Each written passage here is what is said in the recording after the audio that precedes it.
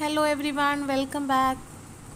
സ്കൂളൊക്കെ തുറന്ന് കുട്ടികൾ സ്കൂളിൽ പോയി തുടങ്ങിയിട്ടുണ്ട്. അവർക്ക് ലഞ്ച് ബോക്സ് ഒരുക്കലും സ്നാക്ക് ബോക്സ് തയ്യാറാക്കലും ഒക്കെയാണ് ഇപ്പോൾ വീട്ടമ്മമാരുടെ പ്രധാനപ്പെട്ട ജോലി എന്ന് പറയുന്നത്.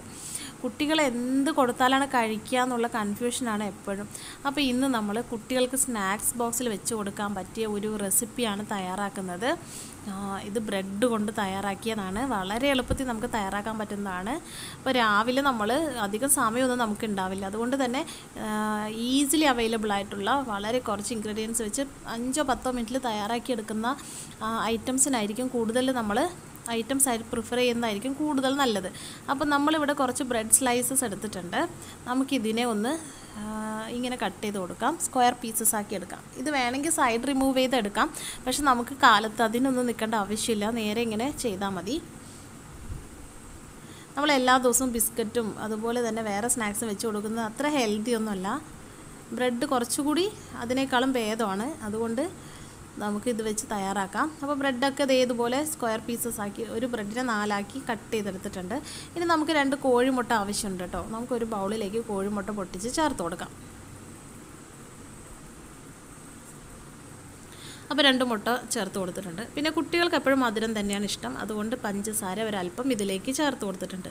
ഇനി നമുക്ക് നന്നായിട്ടൊന്ന് മിക്സ് ചെയ്തെടുക്കണം.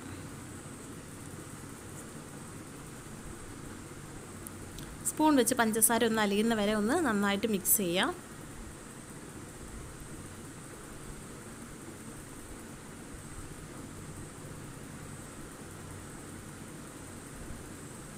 ഇനി നമുക്കിതിലേക്ക് കുറച്ച് പാലും കൂടെ ചേർത്ത് കൊടുക്കാം.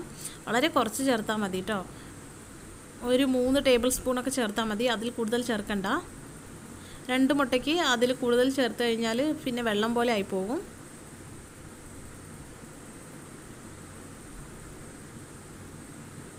ഇത് നമുക്ക് പാൽ ചേർക്കാതെ മുട്ട മാത്രം വെച്ചിട്ടും ചെയ്യാവുന്നതാണ്. അതുപോലെ പഞ്ചസാരയ്ക്ക് പകരം കുരുമുളക് കൂടി ചേർക്കാം. അതൊക്കെ നിങ്ങളുടെ ഇഷ്ടമാണ്.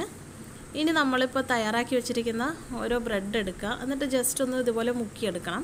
എന്നിട്ട് ഏകദേശം അതേ വലിപ്പമുള്ള ബ്രെഡ് പീസ് വെച്ച് അത് ഇങ്ങനെ ഒട്ടിക്കണം.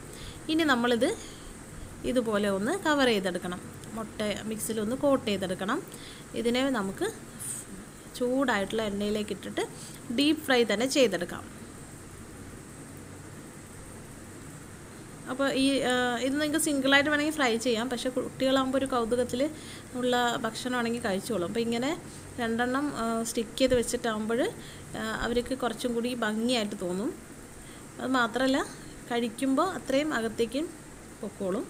അപ്പോൾ ഈ ഒരു രീതിയിൽ ഫ്രൈ ചെയ്തെടുക്കാം. കണ്ടില്ലേ? എത്ര സിമ്പിളായ ഒരു റെസിപ്പി ആയിരുന്നു ഇത്. അപ്പോൾ നമുക്ക് സ്നാക്സിന് വേണ്ടിയിട്ട് അധികം ടൈം സ്പെൻഡ് ചെയ്യാനില്ല. നമുക്ക് ലഞ്ച് ബോക്സ് ഒക്കെ പ്രിപ്പയർ ചെയ്യാനായിട്ട് കുറേ സമയം വേണം.